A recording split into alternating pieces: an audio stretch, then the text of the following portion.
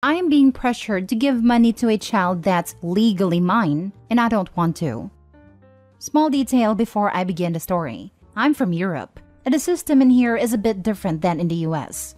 I, 46 male, have four children. Three are biologically mine, one is my wife's affair baby.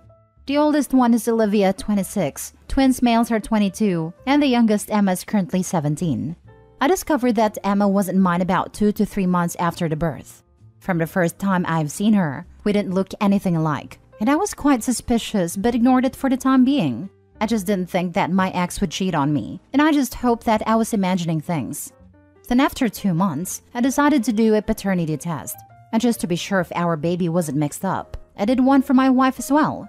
The results arrived after a few weeks, and not surprisingly, the kid isn't mine, and there was no baby mix up. I filed for divorce shortly after. The divorce was long, expensive, and ugly, but at the end, I got 50 50 custody for the twins and Olivia. As for the youngest, I had to pay child support. I tried to fight it with evidence that the kid wasn't mine, but the court verdict was that she was legally mine, so I had to pay it, unless the father of the youngest would show up and take responsibility. My ex absolutely refused to tell anyone who the father was and claimed it was just a few nightstands and doesn't know who the guy is. As a result, I'm stuck paying child support for 18 years. I told my ex that without child support, she wouldn't receive anything else from me, that I won't be a father for Emma, and I don't want to see her. After the divorce was finalized, I moved to a different city. I just wanted a fresh start, and it was difficult, but everything worked out except for dating. I tried learning to trust again, but it was extremely difficult. And at the end, after many failed relationships, I ended up single. The main issue was I couldn't trust anyone except my kids and family, and that mainly destroyed every single relationship I had. I tried therapy, but that led basically nowhere. After a few years, when Olivia was 14, she got in a huge fight with my ex and decided to live with me. The fight with her mother happened because she wanted to take Olivia's money that she was saving. As a result, Olivia wanted to stay away from her mother, and she decided to live with me until she was 20. Here is where the problem begins. For my children, I was saving money, and each got 65,000 euros after they finished school. I tried to teach them to not waste money and invest, but at the end it was up to them. Fortunately, they invested the money smartly and are currently living independently. But the problem started when my ex started hinting about Emma, asking when will she receive money like her other siblings. At first, I thought she was joking and jokingly said, when her real father shows up. She got extremely angry and started yelling about how bad a father I am, and that joke was inappropriate. I got angry myself and said that she should have thought about that before cheating, and that I already paid for a child who wasn't mine for almost 18 years. At the end, I blocked her number and went about my day. That evening, Emma called me and asked why she won't receive anything. I politely said that she knows that she isn't my child. She got angry, yelled that this wasn't fair, and hung up. My ex keeps calling with different numbers and keep yelling what a bad person I am. I can afford it. Obviously, it would leave a dent in my savings, but at the same time, I don't want to do it. Me and Emma never had a relationship. Maybe we would speak two or three times a year. But at the same time, I feel guilty for excluding and punishing her for what my ex did. Now for the top comments. If the kid is 17 already, wouldn't that mean you only have one more year to pay support for Emma? Or are you saying you need to pay child support for Emma until she's 35?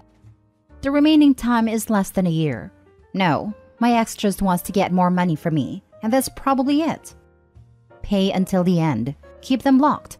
Tell Emma to find her bio father. And finally, move on. And when she finds her bio dad, sue him and the ex. I won't achieve anything with that. Even if the father appears now and admits everything, I wouldn't get any compensation for those years. It's best to just let go. What happened already happened. You have paid a child support that was court ordered for a child that biologically isn't yours. You have made those payments in full. That is the end of your obligation to that child. Your ex decided to cheat and not go after the bio dad for child support, etc. I'm sorry, but you don't owe that child anything else. You didn't raise her. You were just forced to pay for them. Your ex can give them some money. Keep your money and use it for your retirement or for your future grandchildren. Totally agree with this. I would even go as far as to add up all the child support payments you had to make and show the total amount to both of them. I'm going to guess it's a whole hell of a lot more than 65k in euros. Reckon what her approach would have been had roles been reversed. She has to understand she's being obtuse and greedy. I'm sure if OP brought home an affair baby, she would be ever so gracious. She's even grosser not disclosing her dad to her and dragging her into her messy drama. What a mother. Not your child, not your problem. It's bad enough you had to pay child support for 18 years. It's the mother's fault for never trying to find her real father. Oh, I think the mother knew all along who the father was. Next story. My wife has been cheating on me for a year. I plan to divorce her as soon as our child is in childcare. My wife and I have been married for five years, and our child was born just over a year ago. I thought we were happy, but my wife became distant soon after. She stopped being interested in intimacy, stopped showing any affection towards me. She seemed to enjoy spending time with me less and less with each passing week and month. I have tried talking to her about it, but she has blocked any effort from me. I wasn't able to reach her. Then, about three months ago, I saw a notification on her phone. I wasn't snooping, I just wanted to pause the music she had playing. But there it was. Can't wait to see you tonight. I've been hard all day. It was a text from her male best friend. My heart skipped a few beats. I started to look through her phone and found loads of texts going back months. Nude pictures, dirty talk, everything. I wanted to throw up. Apparently, they started getting closer a few weeks after the child was born and started sleeping together around three months after the birth. All those nights she went out with her girlfriends, she actually spent at his house. I wanted to confront her, to leave her and be done with her. But we have a child that needs us. I knew I couldn't take care of a child alone, at least not until he would go to kindergarten. And I knew she certainly could not take care of him alone. Besides, I couldn't ever stand being apart from my little boy. So I made a plan. I collected as much evidence as possible and kept my mouth shut. I stopped trying to get closer to her, keep my head down, and just take care of our child with all my heart. But the moment he is settled in at kindergarten when he is two years old, I'll divorce my wife and try to get custody of my boy. And that is my situation. I've got to endure a bit more than a year of this broken marriage, pretend that I don't know what she is doing, and keep things civil. There is no one in my life I can talk to about this. I cry myself to sleep when she is out with the girls, knowing what she's actually doing. I gotta stay strong for my boy. I love you, little one. Edit, since everyone in the comments is telling me to get a paternity test, thank you for your advice. I already did. He is my child. Talk to an attorney and make your exit plan. Right here. Waiting a year is too long. Kindergarten isn't the only childcare option out there for toddlers. I'm guessing your wife isn't just carrying on an affair, but making your own exit plan. As crappy as it sounds, like you are trying to win the divorce, you want to do everything you can to have a leg up in all court proceedings moving forward, and talking to an attorney immediately will best position you.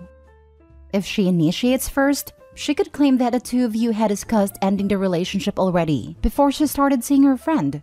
Would still qualify as adultery, but put her in a much better light in court, especially if she can prove you were aware of the affair and didn't do anything. Yeah, she definitely is making an exit plan, if it's been going on this long. She's probably waiting six more months, and then giving divorce papers to OP. She's not waiting till this kid is in kindergarten. What will you do if she and her affair partner decide they want to get together before this year timeline is up? She might go for emergency full custody, and then you miserably waited for nothing. Also, be mindful of her friends trying to either support you, as some of them definitely knew what she was doing, They'll gaslight you that her friendship with the guy was platonic. You will get a lot of lies and a range of emotions from her once you confront her. Be prepared. There is no way all the evidence I have can be discarded. I know what she is doing, and she is not being very clever about it. Most of our friends are actually her friends. I am not a very outgoing guy and had not a lot of friends before meeting her, so I'm fully prepared to be on my own once things come out. If there was no child, I just cut contact with her but for our son, I'll try to be as civil as possible while setting firm limits. Our child needs his mom. Edit 2. Thank you all so much for your feedback and suggestions. To clarify a few things, as I already said yesterday, I had a paternity test done to make sure the kid is mine. He is, but it would not have changed anything for me anyway, at least not how I feel about him. I am talking to an attorney. I have been working with them for a while, gathering evidence and building a case. I am prepared in case my wife decides to act before I plan to do. Thirdly, sole custody is not my goal nor my preference. Optimally, I will go for some form of custody agreement, with me being the primary caregiver. I don't want to take his mom from my little boy, but I am prepared for the worst. Many of you disagree with my opinion to keep my wife's infidelity quiet. Let me clarify.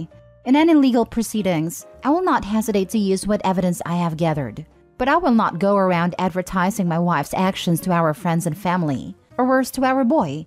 I will make damn sure his relationship with his mom stays as untainted as possible. I am aware that she might use some dirty tactics and may not be as respectful as I plan to be, which is why I am prepared for any eventuality with my lawyer. Sorry about the confusion regarding kindergarten, daycare, and childcare. I have used those terms interchangeably. In my country, children can be externally cared for from as young as a few months old. But that is rare. Most commonly, children are put in external care at 2 to 5 years old, depending on the situation. In our case, childcare under the age of 2 is not available, and our financial situation is a bit more complicated than I care to elaborate. Suffice it to say, I have done my research and have determined that external childcare is not feasible or affordable until he is 2 and me staying home to care for him full time is also not feasible. So, to be sure I can take care of him all by myself, in case the separation goes less than smooth, I am waiting until he is regularly going to external childcare. Last story. I let my niece be adopted. Some people judge me for it, but I think I made a right choice. I love my sister Maggie. She and I had a very rough childhood, and it bonded us. We were raised around drugs, alcohol, and abuse. I managed to escape, went to college, and made something of my life. Maggie wasn't as lucky. She fell in love with a dealer, began using, and entered into an awful marriage. I begged her to leave, offered her a spare room, rehab, etc. I even bailed her out of jail more times than I can count, but she just gets sober, leave him, and then go back. Then she told me she was pregnant. She was so excited. She was in a sober spell. Still with her husband, but swore things were different now. He was going to live the life. He promised her. It took all I had not to cry at her naivete. My beautiful niece Harlow was born, and I did my best to protect her. At one point, social services were called on them. CPS did an investigation, and Maggie was distraught. She begged me that if Harlow entered the system, I'd take her. I couldn't let her be adopted. I promised her I would, and the CPS investigation was eventually closed. At one point, Maggie and I had a falling out. I was once again trying to help her leave, get sober, etc. But she refused and cut me out entirely.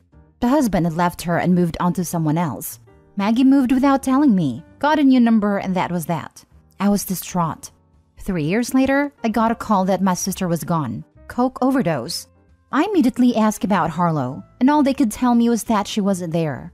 It took a lot of calls, but I eventually uncovered that Harlow had been taken from Maggie a year and a half prior after she was caught buying substances. Now, according to those who know my sister, she swore up and down that she told them about me and that she wanted her place with me. Social services said they tried to locate me but couldn't. I managed to get visitation with Harlow. By this time, she was seven years old. I didn't think she'd remember me, but she smiled and ran into my arms for a hug. She said she missed me so much. She told me all about her foster parents, her new house. She was so happy and healthy.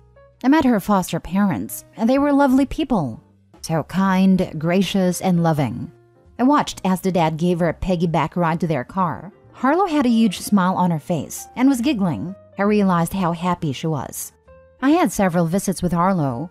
Social services told me I could file for kinship and explain the process. I was all for it and began speaking with my partner about the process. Harlow was turning eight, and we were closing in on her spending nearly two years with her foster parents. They invited me and my partner to the birthday party.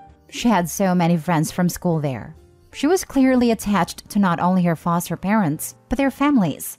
She had a huge house with a yard. The foster parents had two older sons who were so good with her. It was like they were a family.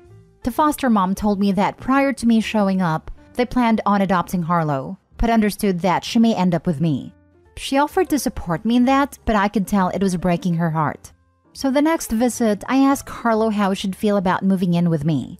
She got sad and asked about her foster family. She referenced them as mommy and daddy. It was in that moment I knew this was her new family.